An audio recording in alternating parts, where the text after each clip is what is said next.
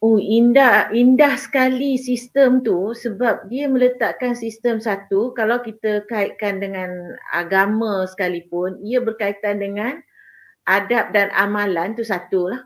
Satu hmm. lagi musyawarah itu yang mesti pada saya itu elemen utama juga.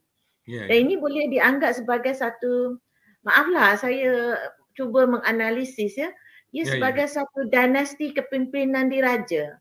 Ya, ya, ya. Dinasti. Dia bukan uh, sistem itu bukan sistem perseorangan yeah, yang ya, mana yeah. orang itu diangkat oleh uh, oleh satu sistem untuk menjadikan baginda uh, sebagai seorang raja. Tetapi hmm. ianya diangkat oleh orang lain yang juga mempunyai kedaulatan dalam ruang uh, sempadan masing-masing. Itu yang saya faham. Jadi ini sebenarnya ia hmm. membentuk hmm. dinasti dia bukan satu sistem beraja yang biasa-biasa yeah. uh, ya. yang yang satu orang raja berkuasa dalam sebuah negeri. Pada uh, saya dia juga berbeza dengan daulat. negeri antena tu. Pada pada saya di sinilah letak daulatnya sebenarnya. Ha, sebab bila saya sebagai pelajar undang-undang di peringkat persekutuan ni kan Datuk Datuk Paduka kita lihat pada perkara 181 Perlembagaan Persekutuan tu dia kata raja pemerintah, duli-duli yang maha mulia raja-raja pemerintah bagi negeri-negeri ini mempunyai kedaulatan masing-masing. Termasuklah juga ruling chief. Uh, ketua-ketua apa nama uh, ketua-ketua apa ya di undang ni lah di negeri sembilan ni juga mempunyai ya. kedaulatan yang sama dengan raja-raja pemerintah.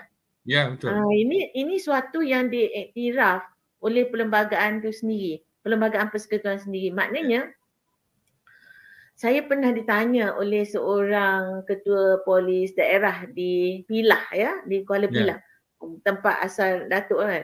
Jadi yeah. dia kata, dia tanya saya, adakah uh, Datuk Undang ni, the ruling chief ni mempunyai kedaulatan yang sama uh, dengan apa mempunyai hak atau kedaulatan yang sama dengan uh, dengan yang di Pertuan Besar.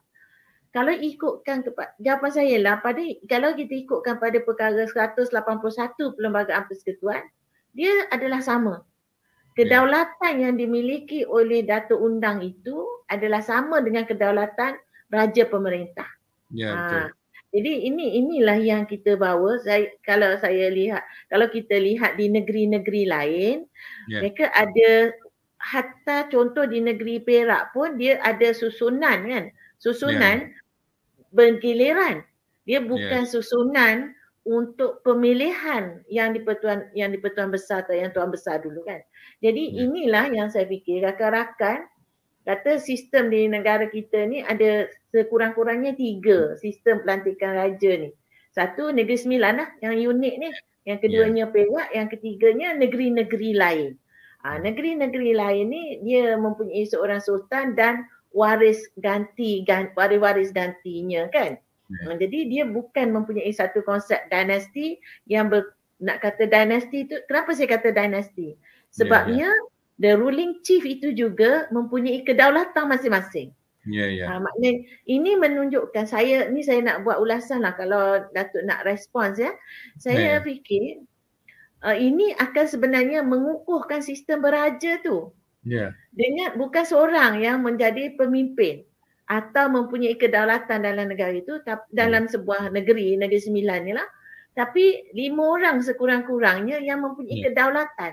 Jadi yeah. ia sukar untuk dipersoalkan institusi yeah. beraja itu atau yeah. dikatakan uh, soalnya untuk dijatuhkan institusi beraja itu yeah, dalam yeah. konteks dinasti itu. Jadi pada saya uh, ia adalah satu sistem yang kukuh dan kita perlu uh, menghayati sistem ini dalam konteks uh, budaya.